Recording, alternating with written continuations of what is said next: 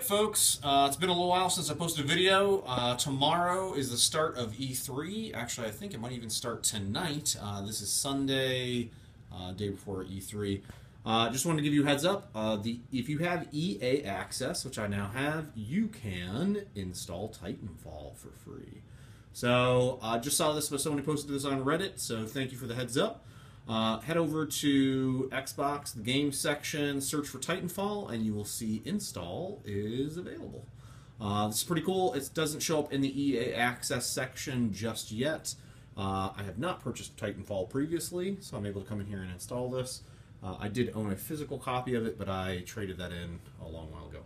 Uh, but yeah, just wanted to give you guys a heads up. So go ahead, start installing this, and jumping back on Titanfall. And remember, that the season pass is now available for free for all Titanfall owners.